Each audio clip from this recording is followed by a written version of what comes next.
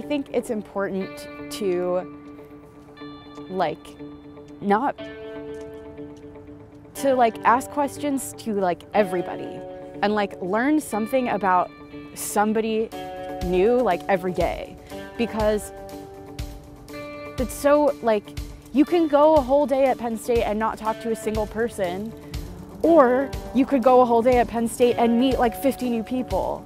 So the latter seems way better because you can make so many connections and so many like amazing, you can meet so many amazing people just by like asking a question. And like some people might not really like that at first, but you have to not be afraid to, you may not be like an outgoing person, but that doesn't matter. Like you can still wonder about somebody else and reach out to them because that will enrich your experience.